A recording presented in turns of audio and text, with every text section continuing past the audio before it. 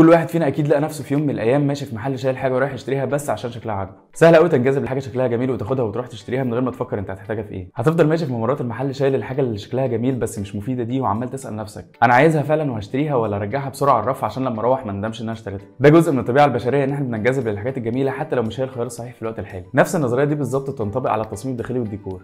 ممكن تنزل تشتري حاجات كتير قوي انت شايفها جميلة كل حاجة لوحدها بس لما تيجي تروح البيت وتحطها في الغرفة تكتشف إن هي ملهاش أي لازمة وإن هي في الآخر هتبقى كراكيب. عشان كده لازم نحط في دماغنا إن الوظيفة بتيجي قبل الشكل حتى في التصميم الداخلي والديكور وهعرفك ليه دلوقتي. بس قبل ما نخش في الموضوع عايز أعرفك على نفسي بسرعة. أنا اسمي محمد قماح مهندس معماري و interior designer وده قماح design.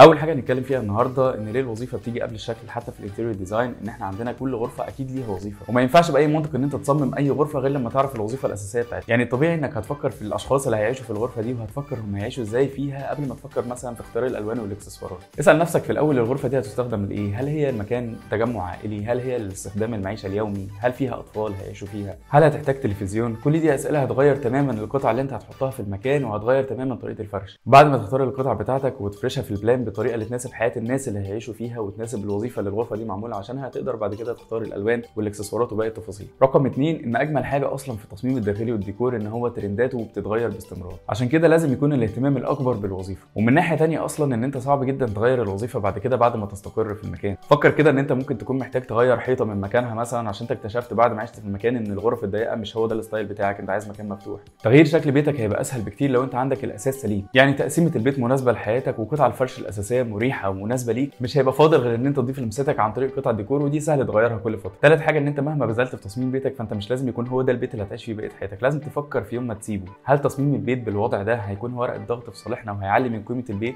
ولا هيكون وسيلة ضغط علينا وعيب فيه هنحاول نداريه وندور على مبررات عشان نحافظ على قيمته؟ آخر حاجة إن التصميم اللي بيحط الوظيفة قبل الشكل هو في الحقيقة خطة مفيدة جدا لتقليل التكلفة. أغلب الحاجات اللي بنشتريها وفي الآخر بتتركن أو تترمي أو تبقى في الآخر كراكيب بتيجي أصلا بسبب عدم وجود تصميم أو بلان بننزل نفضل نشتري حاجات بطريقة عشوائية وبنصرف فلوس قد كده وفي الآخر النتيجة بتكون غير متناسقة ومش مريحة. لو صممت بيتك وأنت مركز مع وظيفه هتقدر تقلل كتير من الحاجات اللي أنت مش محتاجها وتركز مصاريفك في الحاجات اللي أنت محتاجها وهتفضل معاك على المدى الطويل. بيتك هو محور راحتك أنت وأسرتك ويستاهل إنك تبذل فيه مجهود كبير في التصميم. خلي ذوقك وإبداعك يحركوك بس أهم حاجة تتأكد إنك حققت الوظيفة الأول. صدقني هتتبسط جدا لما تلاقي كل حاجة في بيتك جميلة ومريحة وبتخدمك في حياتك زي ما أنت عايز بالظبط. قبل ما تمشي بقى ما تنساش تدوس like و subscribe وتشغل ال notifications عشان أول ما أنزل فيديو اليوتيوب يقول لك على طول.